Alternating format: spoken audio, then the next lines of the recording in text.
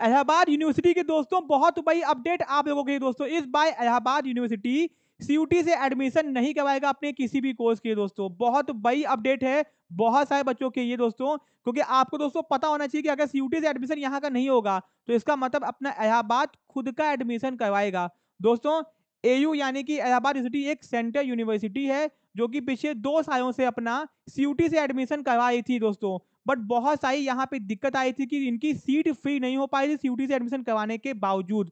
तो दोस्तों, इस बार ये डिसीज़न लिया है कि इस बार पास सीयूटी से बाहर रहेगा, यानी कि सीयूटी से कोई भी एडमिशन नहीं करवाएगा, जैसे कि पहले करवाता था, अपना खुद का एंट्रेंस एग्ज़ाम करवाएगा। इसके ऊपर विचार विमर्श किया जाए दोस्तों, और इस बार ये हो सकता है कि इलाहाबाद सीयूटी से बाहर हो जाए अपने यूजी कोर्सेज के लिए। पीजी के लिए वो खुद ही एग्ज़ाम करवा रहा था सीयूटी के आने के बावजूद। अब दोस्तों, वो यूजी से भी बाहर हो जाएगा, यानी कि पीजी में था ही नहीं और सीयूटी में जो गया था दो साल से, वो भी सीयूटी से भी बाहर होने वाला है। ठीक है दोस्तों? तो सीयूटी से एडमिशन नहीं होगा इस बार। ब्रेकिंग न्यूज़ आप लोगों के लिए। पूरी न्यूज़ क्या है, मैं आपको पढ़ के भी दिखा देता हूँ।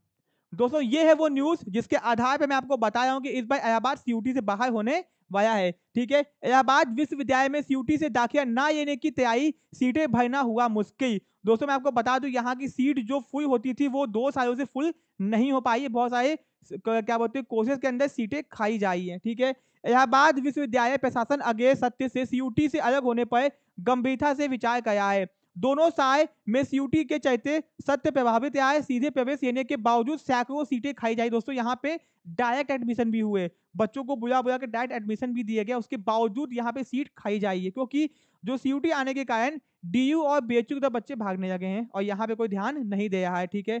और दोस्तों, इनका एडमिशन का प्रोसीजर भी थोड़ा लेट होता है। बाद में इनकी काउंसिलिंग भी बहुत बाद में होती है। अब दोस्तों, यहाँ पे ध्यान दो।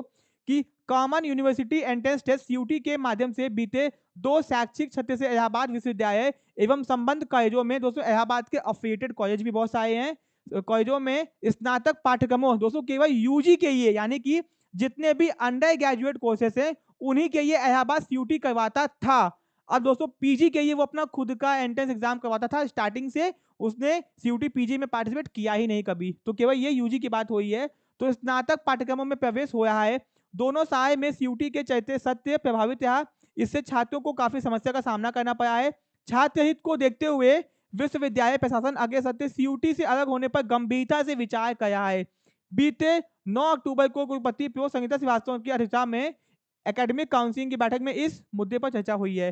दोस्तों, मैं आपको बता दूँ कि इलाहाबाद यूटी पीजी में था ही नहीं और यूजी से इस बार बाहर होने के चांसेस बहुत ज़्यादा हैं। तो बच्चे परेशान हो गए, सर, हम लोग एडमिशन कैसे पाएँगे अगर हमको इलाहाबाद में एडमिशन चाहिए? तो बेटा सीयूटी से तो आपका एडमिशन हो नहीं पाएगा, आपको यहाँ का अलग से फॉर्म फिल करना होगा, अलग से एंट्रेंस एग्ज़ाम देना होगा, आपकी अलग से कट ऑफ़ आएगी और यहाँ का आपका एडमिशन होगा, जैसे पहले इलाहाबाद करवाता, आया था आज तक।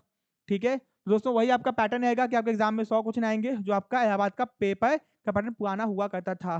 दोस्तों, अभी कोई भी इन्फॉर्मेशन नहीं आई है, जब तक कि इलाहाबाद का अपना बुलेटिन नहीं आता है एग्ज़ाम का मॉड्यूल नहीं आता है तब तक इसके ऊपर कुछ भी कहना दोस्तों, सही नहीं होगा। बट दोस्तों, ये मान के चलो कि सी से एडमिशन नहीं होगा क्योंकि आपको देख लो, अभी तक सीयूटी के अंदर इलाहाबाद ऐड नहीं हुआ है। पीजी में था ही नहीं यूजी से भी हटने की तैयारी है। और दोस्तों, बहुत ही काम की इन्फॉर्मेशन है। ऐसे अपडेट्स के लिए चैनल बने हो चैनल पर नए हो तो वीडियो को लाइक कर देना चैनल को सब्सक्राइब कर देना। मिलते अपने नेक्स्ट पार्ट में। Thank you so much